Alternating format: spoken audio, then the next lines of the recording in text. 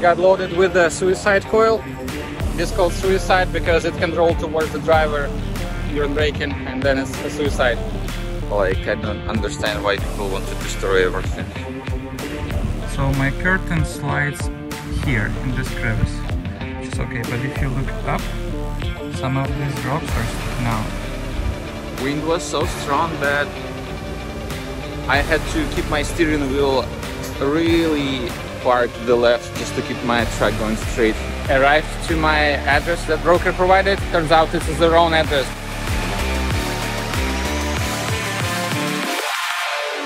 Good morning everyone.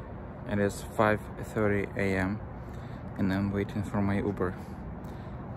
I'm going to the parking lot to finish my delivery to Indiana. Very early in the morning we have a high 20 degrees but luckily no wind so it feels okay. Good thing that my lift got cheaper than initial quote i received. Originally they quoted me almost 100 dollars. Now it's like 47 which is okay. At least my wife doesn't have to wake up with the kid to deliver me to the parking lot.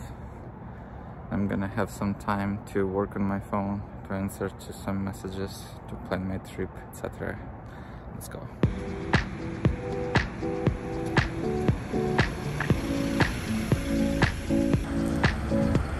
Yay!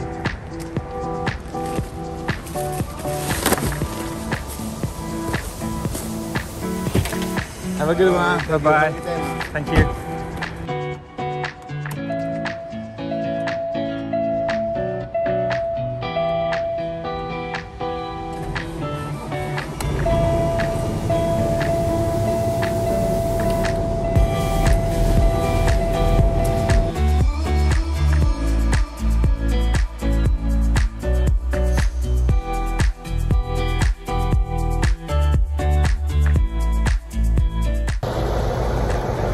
Look good, lights look good, ready to go. Uber driver was super nice guy. It was a good conversation about trucking for the most part. Basically everything I'm telling to you here, I told to an Uber guy. It's like I'm gonna arrive in Waterloo, Indiana by 10.30, just still a little later than I wanted. Hopefully everything will be good. We'll pick up something else today.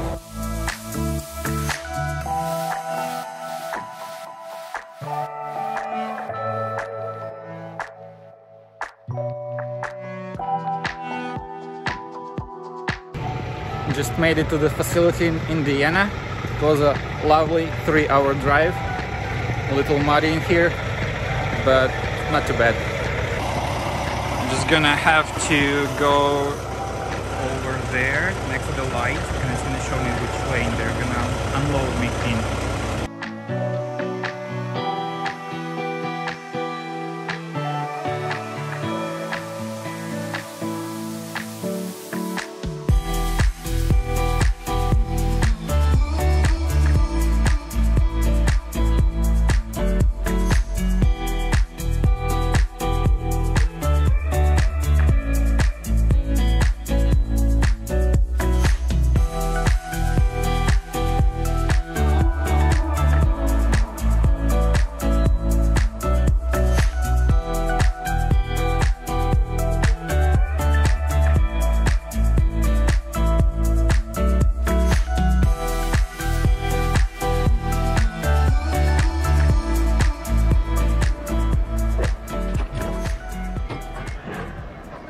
Right, I'm empty now, but this wonderful lava rock is all over my trailer.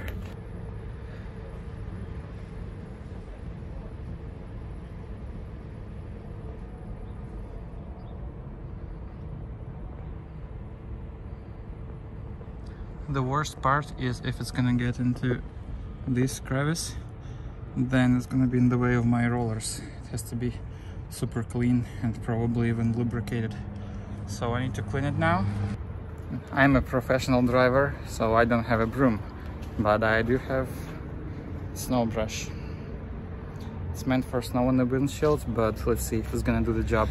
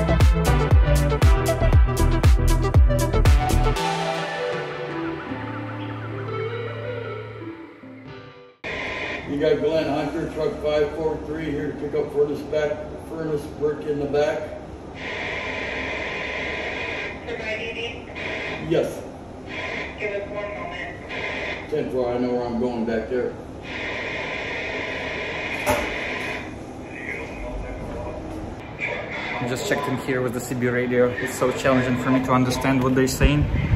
It's like English is hard enough for me already. And when they make me use the radio, it's like so much more confusing, but looks like I got it. Let's go check in. They have a nice restroom over there, as well as a pretty big paved parking lot where drivers can stay overnight. Is awesome, like that. I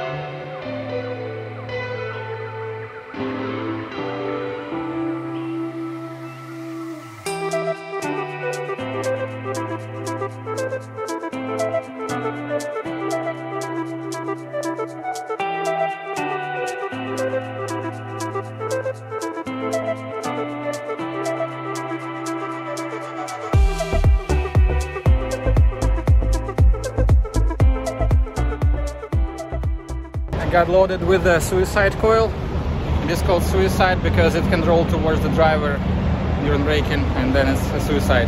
I have two chains already that I used uh, at the facility inside just to get out from there and not to make wait anybody.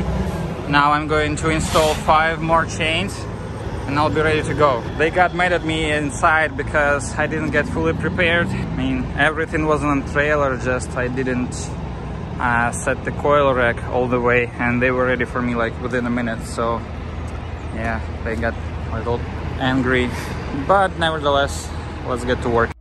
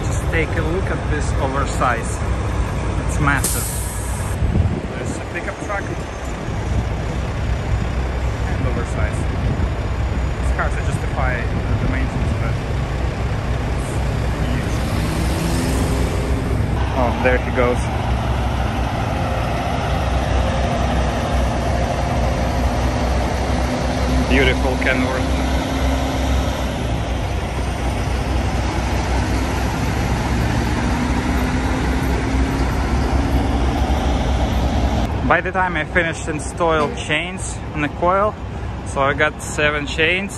So I've got four binders on this side and three binders on the other side. So it's just a little easier to access and to tighten chains while I'm gonna be going.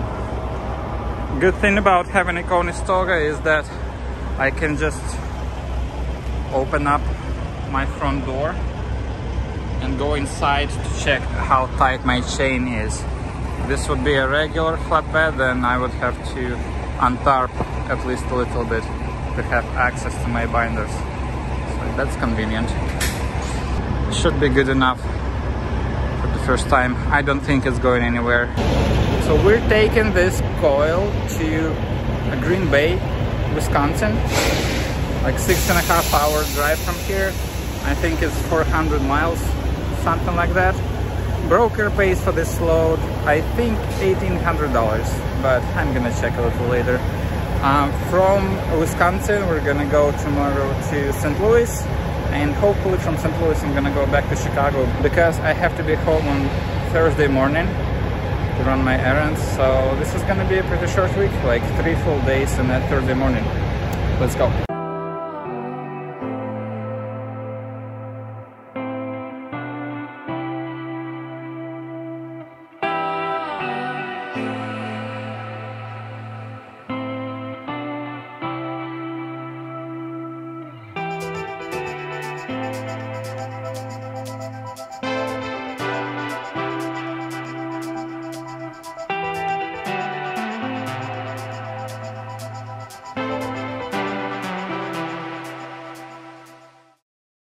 I just got weighed at cat scale at Love's truck stop to make sure that my weight on trailer is fine and I have 37,000 pounds on the trailer axle. Since they're spread I can have up to 40,000 pounds on my spread trail axle so I'm within a legal limit. But this is not a great weight distribution because my drive axle on the tractor are only 26,000 pounds, which means that my tractor is bouncing a lot when I'm driving on an uneven road. And it's a little scary feeling. Uh, when I'm going over bumps, it feels like this coil may go somewhere. So I stop now and I'm going to check my chains to make sure they didn't lose or anything. Um, I can tighten them if I need to.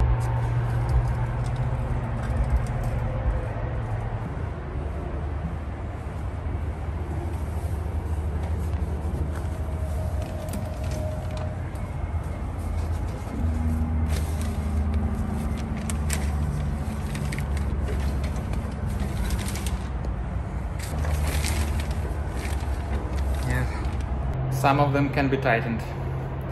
Good thing that I stopped. The thing I like about Love's Truck Stop is they give unlimited refills. So I'm going to refill my half a gallon thermos with a free drink. Probably it's gonna be Arizona iced tea or something like that. And yeah guys, I'm lazy. When I can, I just pull in straight. I don't wanna waste any time turning around. Like there's a clear space behind me. I can just back out. I just need to make sure that nobody is gonna be in my way. And yeah especially when I park at night I like to park this way like head towards the forest or green area if possible because it's much quieter especially if you have somebody with a reefer trailer parked beside you. It's gonna be a better sleep quality such a beautiful day today. Gas price is 386, diesel 574. This is the end of November. I'm wondering what it's gonna be in the future. It's a flatbed with six trailers.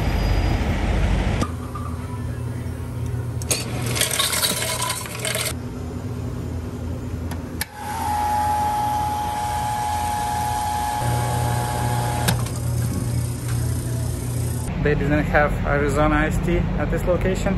I got the Coke Zero, still not bad. I have in total six hours left to go to the receiver location. I'm gonna drive today maybe five hours or so. I'll find some truck stop or rest area close to receiver.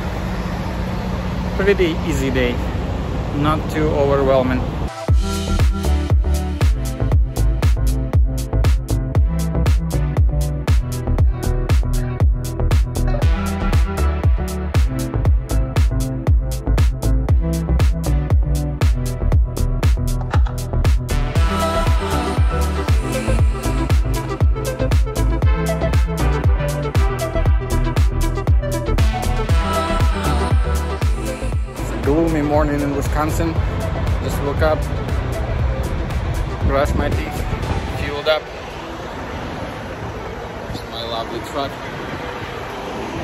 Hour away from delivery.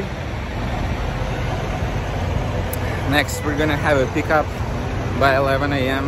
and then we're going to St. Louis, Missouri.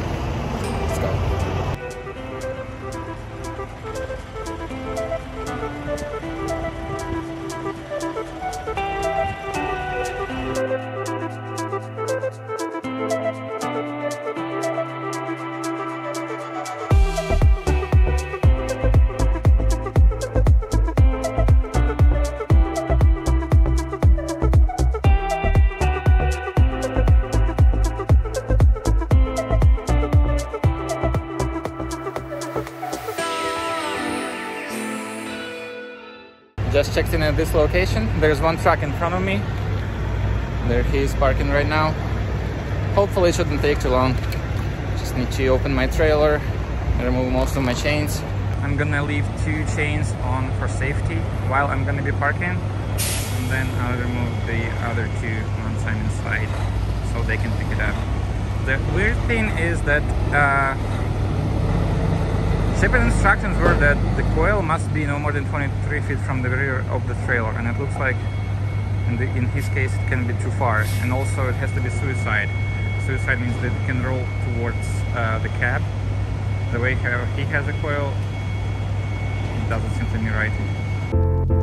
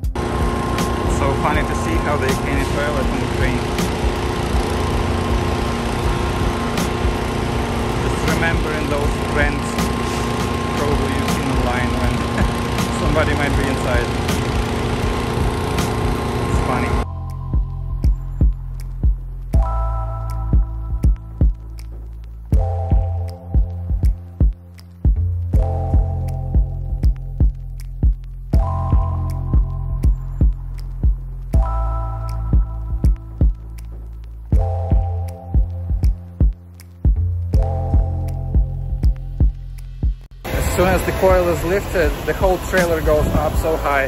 No wonder, coil is 43,000 pounds. It's a full load and a lot of available space on trailer, but I can't use it because I'm already too heavy. Let's go to White Lake, Wisconsin.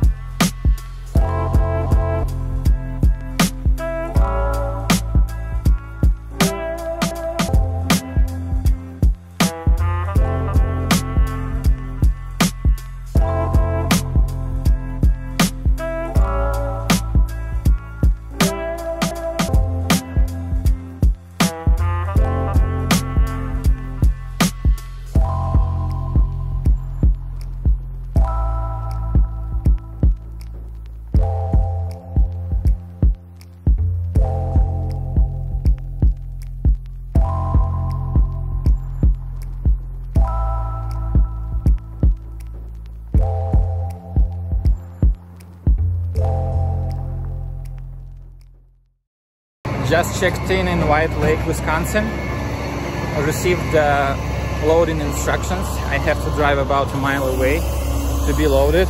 Looks like they scheduled 13 trucks in total. I am the truck number 10, so there's quite some line. It's a pretty place.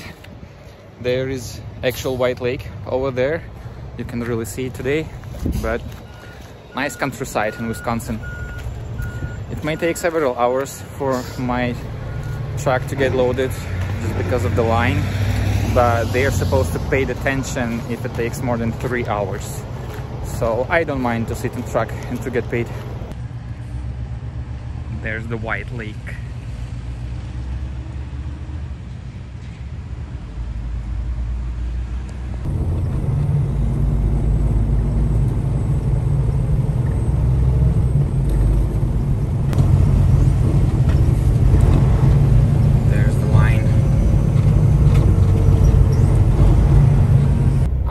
Gonna be picking up some kind of flooring for sports surfaces, like a basketball court.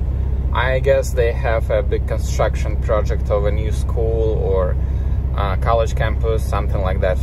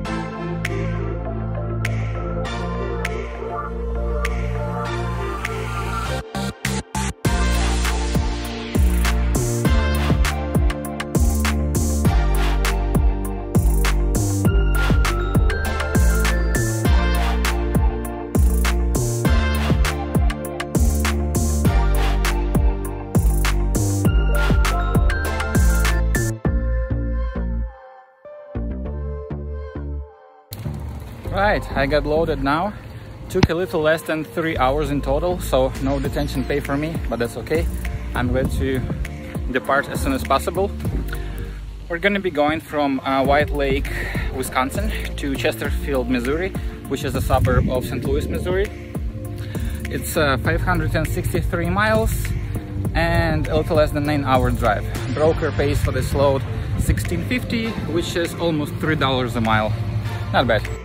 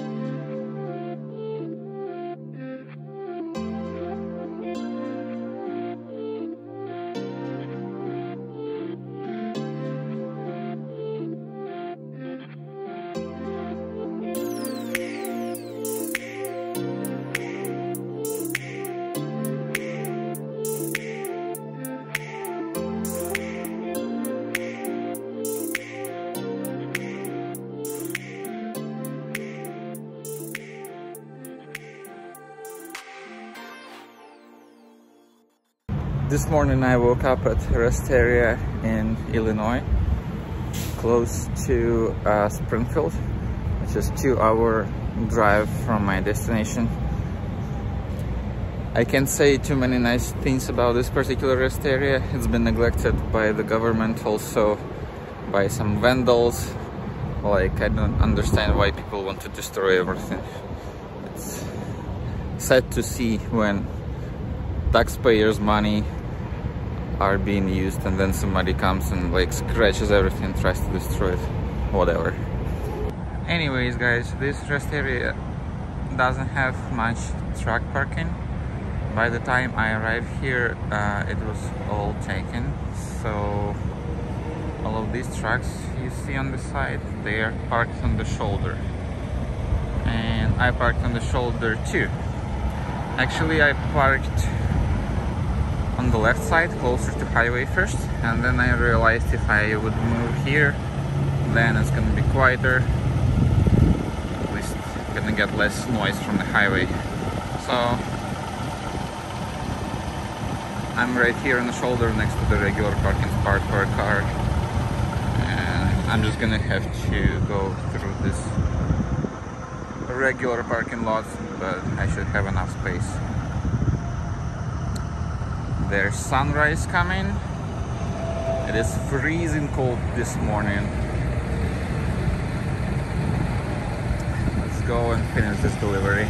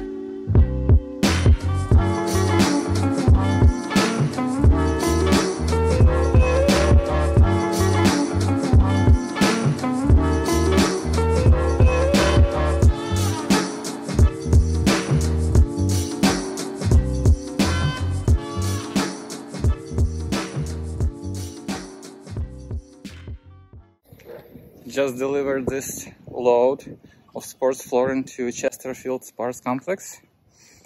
This truckload should cover the entire basketball court.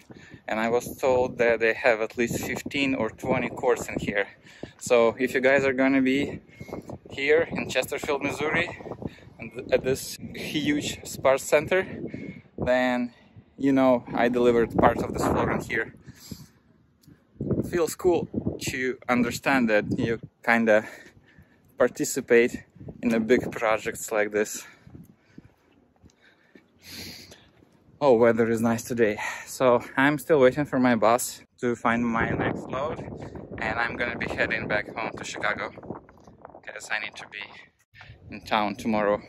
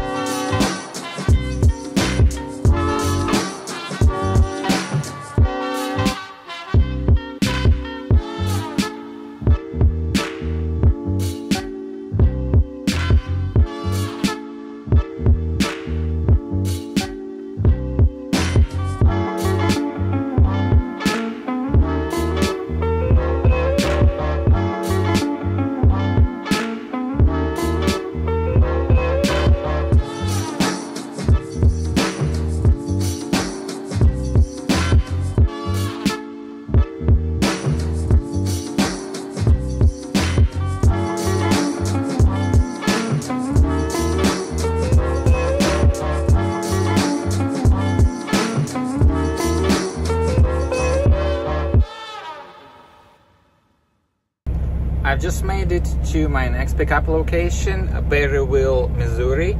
It's an hour away from St. Louis, Missouri. Uh, we're gonna be picking up pelletized rock and delivering it to uh, Sussex, Wisconsin, which is the suburb of Milwaukee. Broker pays for this load 1250 forklift driver just got me. Um, broker pays for this load 1250 and uh, it's about 450 miles, a little less than seven hour drive. It's less than $3 a mile, but it's fine because I need to be going that direction, so yeah, it's pretty good.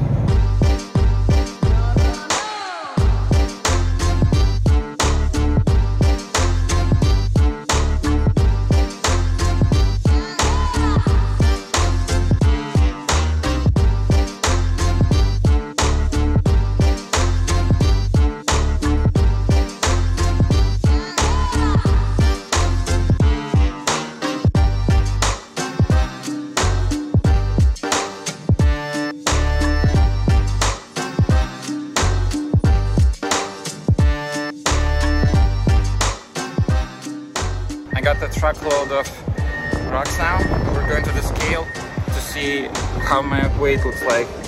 Because they may take off something that's already from my store. They can add more.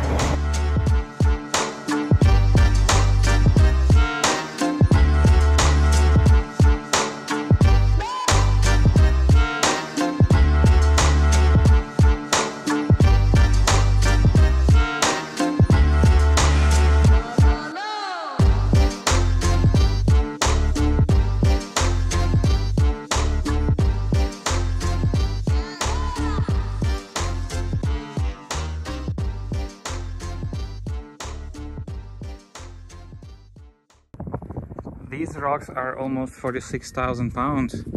But the worst thing about it is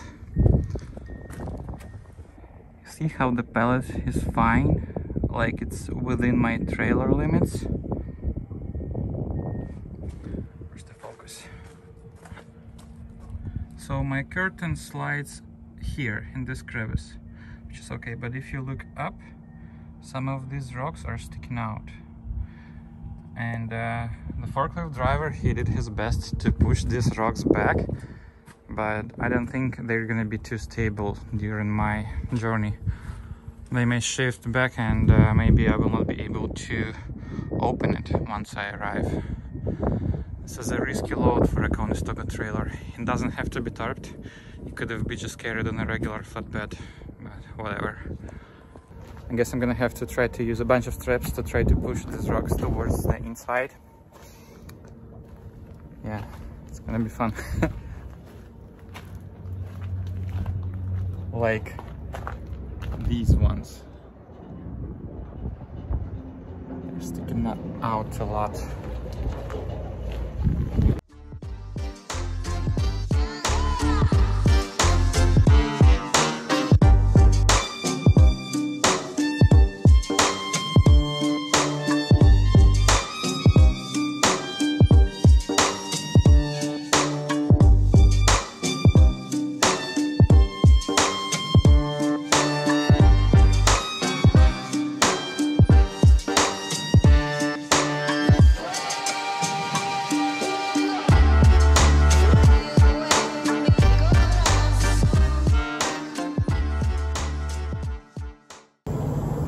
A little easier after I installed all the straps to close my curtain. Went fine. We'll see what's gonna be in Wisconsin. Now we have like six hours of driving left for today and just a little bit for tomorrow morning. Let's go.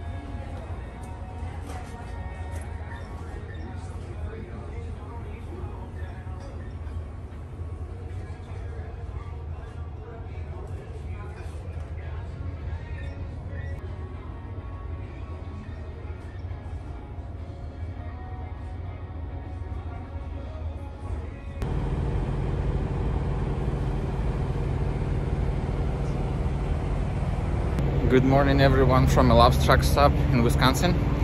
I'm one hour away from my drop-off location. It's been freezing cold tonight, like 10 to 15 degrees.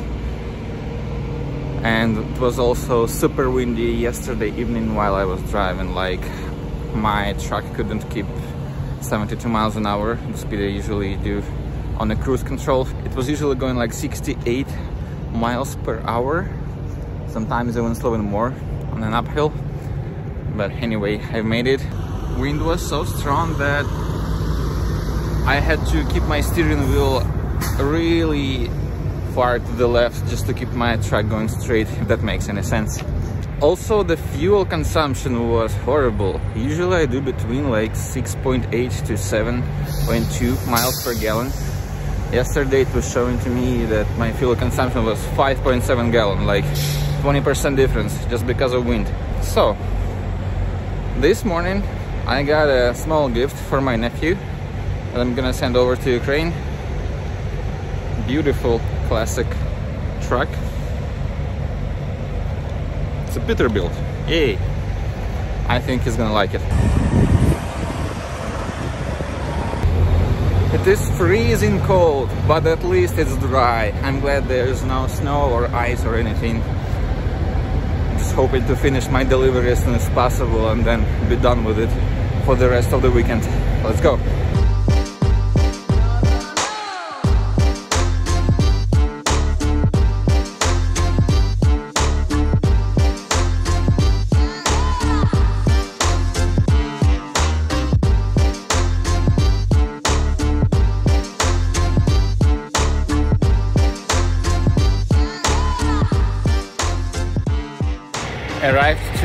Address that broker provided. Turns out this is the wrong address. I have to drive like a little further away. They gave me a map.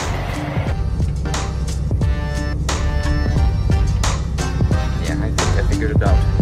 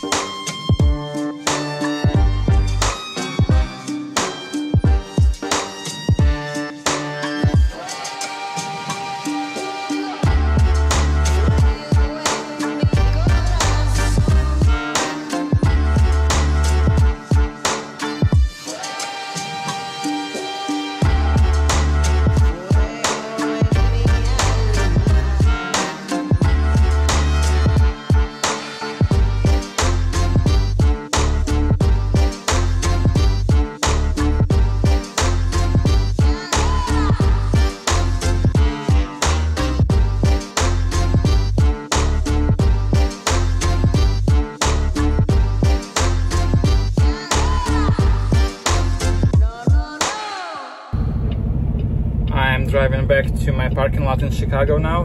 I'm running a little late because I booked a car on Turo, which I wanted to check out. Um, I'm considering switching my main car to buy something different and the car I was looking for uh, is not on a dealer lot. So I was able to find one in Chicago. I booked it for 11 o'clock, now looks like I'm gonna arrive at 12 approximately. Hopefully host will wait for me. Let's go.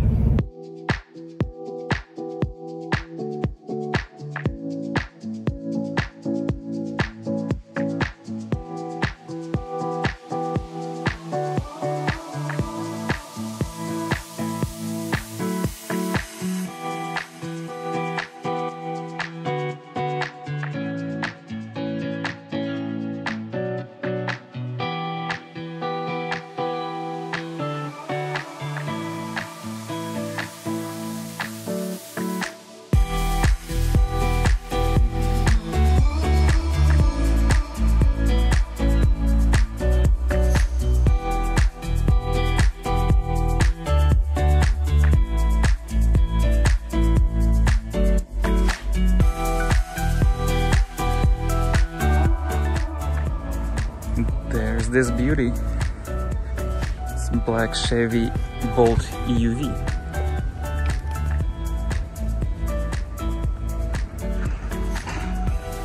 Trunk seems small, but there's some more space.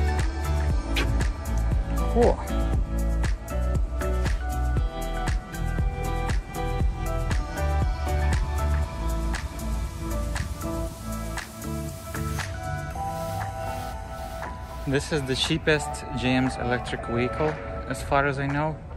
It's called Chevy Bolt EUV. It's like $35,000 fully loaded before any rebates. And there are rebates for 2023 with Chevrolet. Just look at this enormous screen.